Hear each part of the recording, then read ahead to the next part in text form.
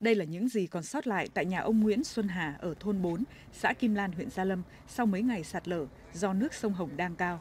Vị trí sạt lở dài khoảng 25 mét, dựng đứng, cao hơn mặt nước khoảng 7 đến 8 mét, ăn sâu vào bờ 2 đến 8 mét, kéo đổ bức tường rào và công trình phụ của gia đình.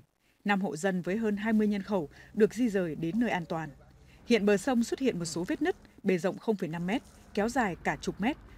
Nguy cơ đất tiếp tục trượt xuống sông. Khu vực này có 7 hộ dân với 35 nhân khẩu, tổng diện tích bị ảnh hưởng hơn 3.600 mét vuông.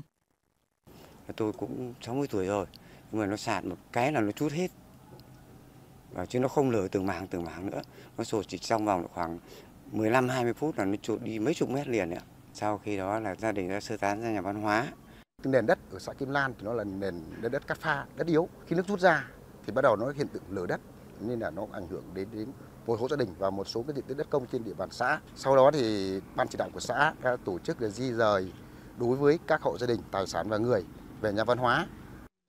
Sau bão số 3, nhà Lỗ Thị Hà ở thôn Văn Quán 1, xã Văn Khê, huyện Mê Linh bị nứt nghiêng, cả ba mẹ con phải đi di rời. Cơn bão vừa rồi đấy thì em thấy là nó kéo, kéo thì thấy nó nghiêng hết nhà ra, thế này hai mẹ con vào nhau bảo thôi chết rồi nhà nghiêng hết rồi. Thì bây giờ này đến lúc trên ủy ban thì họ xuống, họ xuống thì bây giờ gọi trên huyện thì người ta xuống thì người ta thấy là nghiêng hết nhà thế là đêm hôm đấy là người ta cho em rời đi chỗ khác. Theo nhiều người dân, lũ sông Hồng vài ngày trước lên cao gây ngập bãi sông. Khi nước rút tạo khoảng tranh giữa mặt đất tự nhiên và lòng sông dẫn đến sạt lở. Bão mới lại xả lũ, nước nó ngập nó mới sạt. Cách đây khoảng độ tầm chục ngày, nên là nó sạt của gia đình cả hai bên anh em, với lại cả hai hộ bên hàng xóm nữa. Theo Chi cục Thủy lợi và Phòng chống thiên tai thành phố, sau bão số 3 đã có 40 điểm sạt lở trên hệ thống đê, cần ưu tiên xử lý cấp bách 10 điểm sung yếu và cải tạo sửa chữa 10 điểm nguy cơ cao.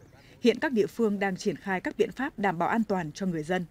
Những cái điểm vị trí sạt lở nghiêm trọng thì đối với chính quyền địa phương thì phải tuyên truyền cho người dân ờ, không đi lại cái khu vực đấy và thứ hai là cắm biển biển cảnh báo và rào các cái, cái ờ, đường đi không cho những người dân qua lại để làm ảnh hưởng đến cái tính mạng của người dân.